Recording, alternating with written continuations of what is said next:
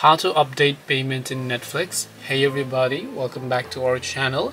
In this video I'm going to guide you on how you can update your payment in Netflix so make sure to watch the video till the end.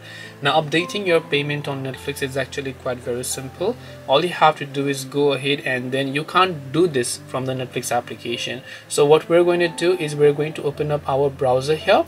Then just go to netflix.com from our browser instead. Then tap on the three lines option from the top left then simply go to this little option here that says account. And once you basically go to the account option you can see these options here.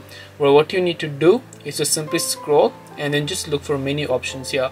So over here what you want to do is simply go to manage payment method. And when you go to manage payment method you will be able to simply update your current payment method by tapping on it or you can choose to change your payment method. That's all it takes to update your payment method on netflix.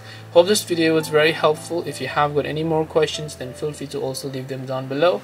Thank you very much for watching till the end of this tutorial and see you soon in the next video